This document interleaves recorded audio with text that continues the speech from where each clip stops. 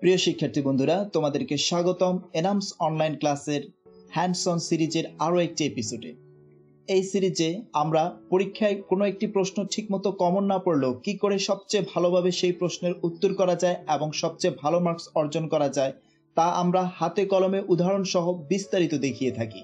আজ আমরা জানব ফর্মাল লেটার কি ফর্মাল লেটার ইনফর্মাল লেটারের পার্থক্য ফর্মাল লেটারের বিভিন্ন অংশের বিশ্লেষণ, কীভাবে পরীক্ষায় ফর্মাল লেটারের অ্যান্সার করা যায় এবং কীভাবে অন্য সবার চাইতে সবচাইতে ভালো মার্কস অর্জন করা যায়।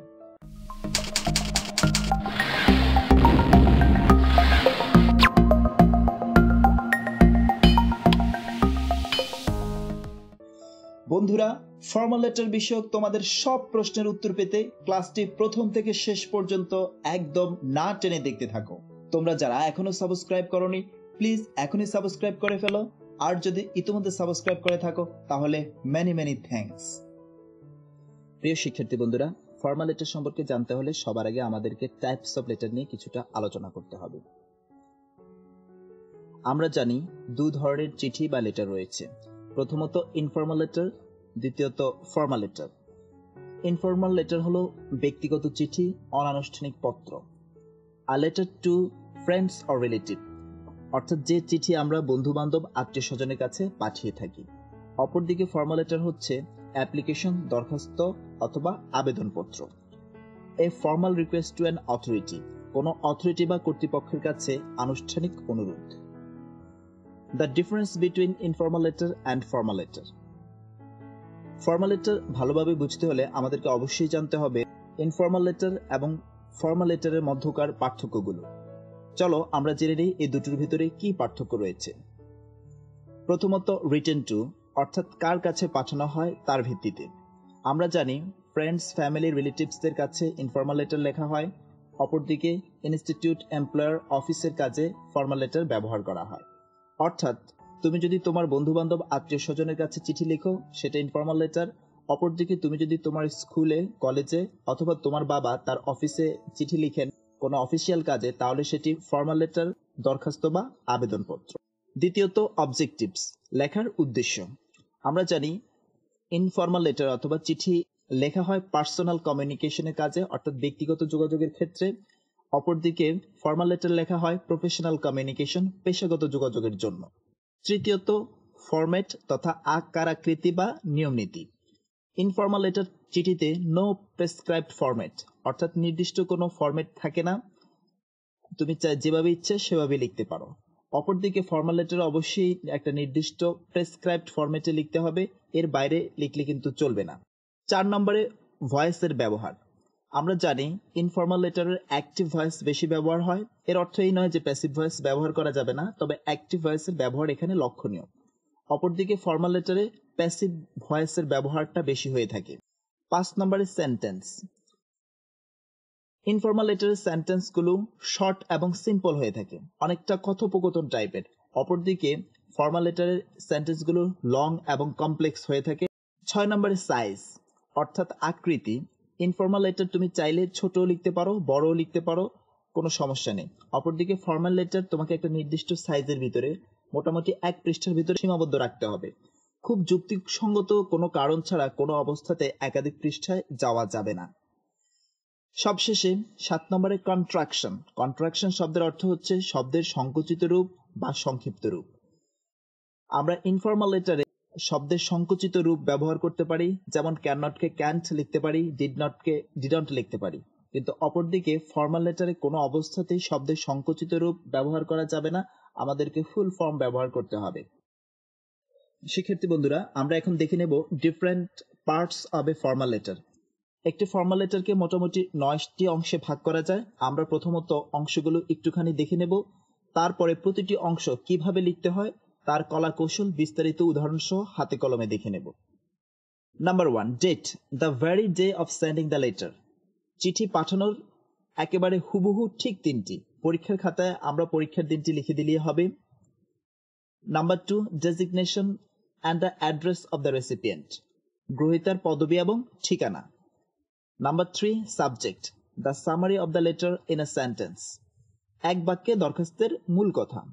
Number four salutation the humble way of addressing the recipient. Number five, introduction, that introduces the subject of the letter Introduction দরখাস্তের মূল বিষয়ের সাথে আমাদেরকে খুব সুন্দরভাবে পরিচয় করিয়ে দেয়। Number six supporting details more information supporting introduction ইন্ট্রোডাকশনের সমর্থনে আরও কিছু তথ্য আমাদেরকে এখানে যোগ করতে হয়। Number seven closing a humble request or call to action কোনো কিছু করার জন্য বিনীত অনুরোধ। শিক্ষার্থী বন্ধুরা ইন্ট্রোডাকশন সাপোর্টিং ডিটেলস এবং ক্লোজিং এই তিনটাকে একত্রে মিলিয়ে বলা হয় body body of an application or formal letter আট নম্বরে থাকছে complimentary close the formal way to say goodbye এবং সবার শেষে থাকছে সিগনেচার অ্যান্ড আইডেন্টিটি মোটামুটি এই নয়টি বিষয় একটি ফর্মাল লেটারে থাকে। আমরা এখন বিস্তারিত জানব। How the question appears in the examination আমরা এখন দেখে নেব কীভাবে পরীক্ষার প্রশ্নপত্রে ফর্মাল লেটার সংক্রান্ত প্রশ্নগুলো আসে। বন্ধুরা, পরীক্ষার প্রশ্নপত্র থেকে ফর্মাল লেটার সংক্রান্ত ইনফরমেশনগুলো আমাদেরকে খুব কেয়ারফুলি সংগ্রহ সংগ্রহ করতে হবে। দেখতে হবে কি কি ইনফরমেশন দেয়া আছে এবং সেই ইনফরমেশনগুলো আমাদেরকে অবশ্যই ফর্মাল লেটার লেখার সময় ব্যবহার করতে হবে আসো প্রথমে আমরা পুরো প্রশ্নটি একবার খুব ভালোভাবে পড়ে নিই suppose you are Habib or Habiba are a student of class 9 of Rajendrapur Cantonment Public School and College. Your father works in a private firm and his income is too small to maintain your educational expenses. Now, write an application to the principal of your school for a full free studentship. আমরা বুঝতে পারলাম, এখানে বিনা বেতনে অধ্যয়নের জন্য প্রিন্সিপালের কাছে একটি আবেদনপত্র লিখতে হবে। তো চলো, যে তথ্যগুলো আমাদেরকে এখানে খুঁজে বের করতে হবে, তা প্রথম তথ্যগুলো খুঁজে বের করতে হবে। প্রথমত, কে পাঠাচ্ছে? আমরা জানলাম, এখানে হাবিব অথবা হাবিবা পাঠাচ্ছে। এরপরে সে কোন ক্লাসের স্টুডেন্ট আমরা জানলাম সে নবম শ্রেণি ক্লাস নাইনের স্টুডেন্ট সে কোন প্রতিষ্ঠানের স্টুডেন্ট আমরা প্রশ্ন থেকে পেলাম সে Rajendrapur cantonment public school and কলেজের স্টুডেন্ট এবার আসি, তার বাবা কি চাকরি করে? তার বাবা একটি প্রাইভেট ফার্মে চাকরি করে। এরপরে আমরা দেখব এই দরখাস্তটি কার কাছে লিখতে হবে? এই দরখাস্তটি এখানে প্রিন্সিপালের কাছে লিখতে হবে। এই তথ্যটি খুবই ভালোভাবে আমাদের মাথায় খেতে রাখতে হবে। উত্তর লেখার সময় হুবহু এই তথ্যগুলোই আমরা ব্যবহার করব। How to write answer in answer script আমরা এখন দেখব কীভাবে পরীক্ষার খাতায় সুন্দর এবং পরিচ্ছন্নভাবে পরিকল্পিত উপায়ে একটি ফর্মাল লেটার অ্যান্সার করা যায়, যাতে তোমরা খুব ভালো মার্কস পেতে পারো। এই যে সাদা পৃষ্ঠাটি দেখতে পাচ্ছ, ধরে নাও এটি একটি পরীক্ষার খাতা। এই সাদা পৃষ্ঠাটি তোমাদের পরীক্ষার উত্তরপত্রের মতো হুবহু একই সাইজের মনে রাখবে, তোমরা যে ফর্মাল লেটার বা অ্যাপ্লিকেশনের উত্তর লিখবে, সেই পৃষ্ঠাতে অন্যান্য পেজের মতো এভাবে মার্জিন করবে না। বরং তোমরা দরখাস্তের যদি তুমি এভাবে মার্জিন টানো, তাহলে খুব একটা সুন্দর দেখায় না। তো আমরা এটি ভাঁজ করে নিলাম। ধরে নিচ্ছি আমাদের দরখাস্তটি, তেরো নম্বর প্রশ্ন উত্তর। তো আমরা প্রথমে লিখে ফেলি answer to the question number thirteen আমরা যখন answer to the question number thirteen লিখব, অন্যান্য ক্ষেত্রে আমরা অবশ্যই মার্জিন লাইনের নিচে লিখব। কিন্তু যখন দরখাস্তে লিখব, তখন আমরা একটু উপরে লিখব। কারণ দরখাস্ত তোমাকে অবশ্যই এক পৃষ্ঠা শেষ করতে হবে। এর জন্য পেজের ভেতরে যত কম জায়গা ব্যবহার করা যায়, ততই ভালো। আরেকটা জিনিস মনে রাখবে, তোমার হাতের লেখার ফন্ট সাইজ যদি খুব বড় হয়ে থাকে, তবে দরখাস্ত লেখার সময় অবশ্যই খুব নিয়ন্ত্রিতভাবে ছোট করে লিখবে এবং একটু সুন্দর করে লেখার চেষ্টা করবে। এই পৃষ্ঠাটি কোনোভাবেই কাটাছেড়া করা যাবে না, কোনো অবস্থাতেই ওভার রাইটিং করবে না, খুব ধীরে স্থিরে, খুব ধীরে স্থিরভাবে সুন্দর করে লিখবে। আর যদি কোনো কারণে কাটাছেড়া হয়েই যায়, তাহলে এই পৃষ্ঠাটি কেটে আরেকটা নতুন পৃষ্ঠা থেকে শুরু করবে। কারণ এই এক পৃষ্ঠা থেকে তুমি পেতে যাচ্ছ অনেকগুলো মার্কস চলো আমরা উত্তর শুরু করি। দরখাস্তের উপরের দিকের কোনায় প্রথমত শুরু করতে হবে তারিখ লিখে। তো চলো কীভাবে তারিখ লিখতে হয় সেটা আমরা জেনে আসি। Place the date at the top left corner of the letter অর্থাৎ তুমি উপরের বা কোনায় তারিখটি দেবে। You can put the very date of the day of the exam তুমি পরীক্ষার হলে যেদিন পরীক্ষা দিচ্ছ, সেই দিনের তারিখটি তুমি লিখে দিতে পারো। There are lots of commonly used date formats পৃথিবীতে তারিখ লেখার অনেক প্রচলিত ফরম্যাট রয়েছে। যেমন, বাংলাদেশিরা লেখে এভাবে, প্রথমে দিন, তারপরে মাস, তারপরে বছর। আমেরিকানরা লিখতে পছন্দ করে প্রথমে মাস, তারপরে দিন, এরপর একটি কমা দিয়ে তারপরে তারা লিখে বছর। আর আমি ব্যক্তিগতভাবে পছন্দ করি প্রথমে তারিখ, তারপরে মাসের পুরো নাম, তারপরে বছর। এই তিনটির যে কোনো ফর্মেটই তোমরা ব্যবহার করতে পারো, তবে ব্যক্তিগতভাবে তিন নম্বরটি পছন্দ করার কারণ হলো এর ভিতরে কোনো কমা, ফুল স্টপ অথবা অবলিক দেওয়ার ঝামেলা নেই, একদম সহজ। চলো আমরা চলে এলাম আমাদের দরখাস্ত লেখায়। ধরে নিচ্ছি আজকে তারিখ হচ্ছে তিন মে দু হাজার একুশ। চলো আমরা লিখে ফেলি, তিন মে দু হাজার একুশ। আমাদের তারিখ লেখা শেষ। এরপরে আমাদেরকে এই জায়গায় লিখতে হবে ডেজিগনেশন চলো আমরা জেনে আসি ডেজিগনেশন কীভাবে লিখে। ডেজিগনেশন অ্যান্ড অ্যাড্রেস মোটামুটি তিনটি লাইনে লিখতে হয়। প্রথম লাইনে the recipient's job title or the designation গ্রহিতার job title তথা পদবি। প্রতিষ্ঠান ভেদে পদবি বিভিন্ন রকম হতে পারে, যেমন the principal the managing director the chairman ইত্যাদি। দ্বিতীয় লাইনে থাকবে the name of the company or institution company অথবা প্রতিষ্ঠানের নাম। যেমন, Dhaka international school and college অথবা স্কোয়ার হসপিটাল লিমিটেড আর থার্ড লাইনে অর্থাৎ শেষ লাইনে থাকবে street address city district and zip code অর্থাৎ এগুলোর সমন্বয়ে একটা পূর্ণ ঠিকানা। যেমন আমি একটি ঠিকানা লিখছি এখানে দুই এক রামকৃষ্ণ মিশন রোড, ঢাকা বারোশো তিন। চলো আমরা এখন ডেজিগনেশন অ্যাপ্লিকেশনে কীভাবে লিখতে হবে সেটি দেখে আসি। আমরা আমাদের প্রশ্ন থেকে জেনেছি, আমাদেরকে ফর্মাল লেটার লিখতে হবে একজন প্রিন্সিপালের কাছে। তো আমরা এখানে লিখব দি প্রিন্সিপাল যদি এখানে হেডমাস্টার লেখা থাকতো, তাহলে আমরা এখানে লিখতাম হেডমাস্টার তোমরা অবশ্যই ভালোভাবে লক্ষ্য রাখবে প্রিন্সিপাল লেখা আছে না হেডমাস্টার লেখা আছে। এর পরের লাইনে আমরা লিখব অ্যাড্রেস অ্যাড্রেসের দ্বিতীয় লাইনে থাকবে প্রতিষ্ঠানের নাম। আমরা প্রশ্নে প্রতিষ্ঠানের নাম পেয়েছিলাম, Rajendrapur cantonment public school and college. যদি প্রশ্নে কোনো প্রতিষ্ঠানের নাম দেয়া না থাকে তাহলে ভুলেও তোমরা কোনো প্রতিষ্ঠানের নাম ব্যবহার করবে না। সেক্ষেত্রে তোমরা X Y Z school and college এভাবে প্রতিষ্ঠানের নাম লিখে দিতে পারো। এরপরে তৃতীয় লাইনে থাকবে অ্যাড্রেস। তো আমরা অ্যাড্রেসটা লিখে দিচ্ছি, রাজেন্দ্রপুর ক্যান্টনমেন্ট, গাজীপুর। এর পরবর্তীতে আমাদেরকে লিখতে হবে subject.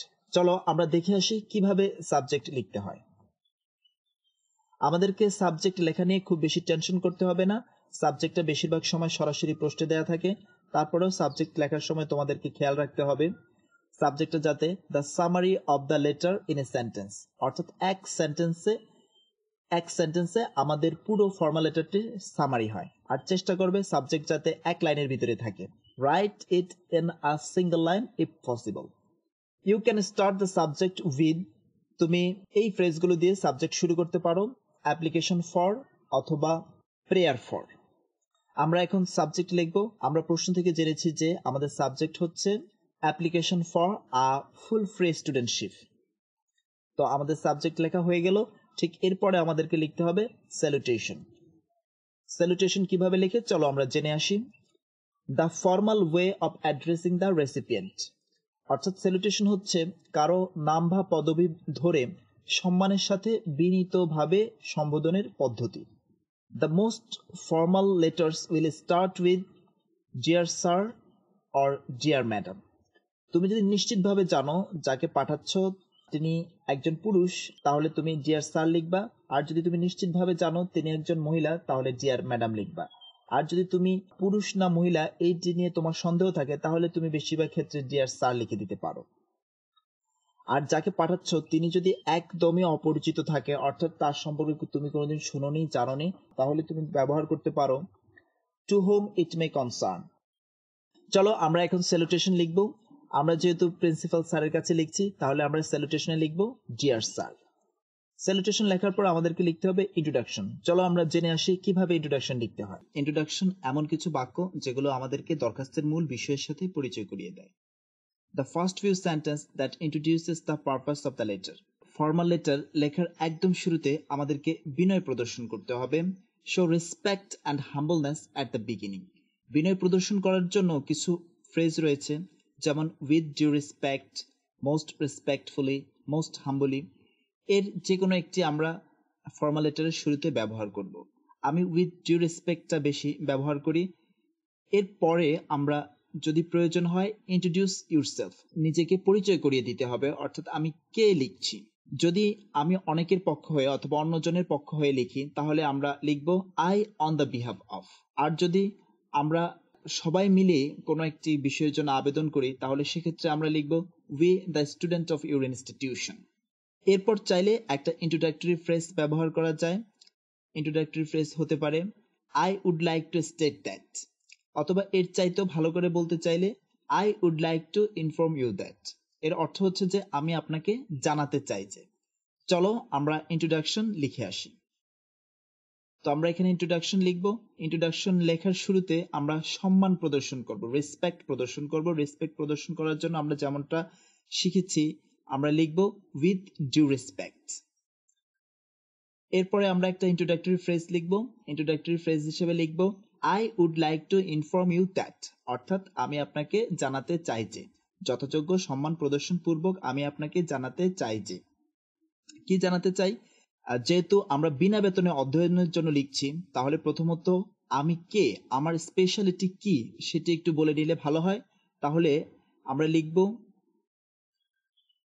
I am a student of class nine of your school I have been studying in your school for last nine years, and I made a good result in the last annual examination. অর্থাৎ আমরা এখানে বলে নিচ্ছি, নিজেকে পরিচয় করিয়ে নিচ্ছি যে আমি ক্লাস নাইনের একজন স্টুডেন্ট শুধু তাই না, বিগত নয় বছর ধরে আমি আপনার স্কুলে পড়াশোনা করছি এবং গত বার্ষিক পরীক্ষায় আমি খুবই ভালো রেজাল্ট করেছি। তো এটা আমাদের ইন্ট্রোডাক্টরি সেন্টেন্স হয়ে গেল। ইন্ট্রোডাকশন হয়ে গেল। ইন্ট্রোডাকশনের পরে একটি সাপোর্টিং ডিটেলস লিখতে হবে। চলো জেনে আসি সাপোর্টিং ডিটেলস কীভাবে লেখা যায়। কনভেস নেসেসারি ডিটেলড ইনফরমেশন অর্থাৎ এখানে ইন্ট্রোডাকশন সম্পর্কে প্রয়োজনীয় তথ্যগুলো দিতে হবে। Explain the ideas set by the introduction ইন্ট্রোডাকশনে আমি যেই কথাগুলো বলেছি, সেই কথাগুলোকে প্রয়োজনে আরও একটু বিশ্লেষণ করতে হবে। চলো আমরা চলে যাই কীভাবে সাপোর্টিং ডিটেলস লেখা যায় সেখানে। এই জায়গাটা ভাবনা চিন্তা করে গুছিয়ে লিখতে হবে। এটা সবচেয়ে গুরুত্বপূর্ণ অংশ। তো আমরা যেহেতু ফুল ফ্রি স্টুডেন্টশিপের জন্য আবেদন করছি, তাহলে বর্তমানে আমার বাবার আর্থিক টানাপড়ন এবং তার কারণ খুব সুন্দর করে গুছিয়ে বলতে হবে, যাতে প্রিন্সিপাল স্যার বুঝতে সক্ষম হন যে আমার বাবা আর কোনো অবস্থাতে লেখাপড়ার খরচ দিতে পারবেন না আর আমাকে অবশ্যই স্কুলের পক্ষ থেকে ফুল ফ্রি স্টুডেন্টশিপ দিতে হবে চলো আমরা লিখে ফেলি but my father is an employee of a private firm His company is now facing an acute financial crisis, so his salary is reduced by 30%. Moreover, he has to maintain a large family of eight members. In this situation, he is totally unable to bear my educational expense. তো আমরা এখানে supporting details লিখে ফেললাম। আমরা principal স্যারকে বলে দিলাম যে আমার বাবা is a is an employ of a private firm একটি প্রাইভেট ফার্মে কর্মরত প্রাইভেট ফার্মে চাকরি করেন। His company is now facing an acute financial crisis তার কোম্পানি এখন একটা তীব্র অর্থনৈতিক সমস্যার ভিতরে ভুগছে, যেমনটা বর্তমান করোনার সময়ে অনেক কোম্পানি ফিনান্সিয়াল ক্রাইসিসে ভুগছে। So his salary is reduced by thirty percent অর্থাৎ তার যে বেতন ছিল বেতনের তিরিশ পার্সেন্ট কমিয়ে দেওয়া হয়েছে।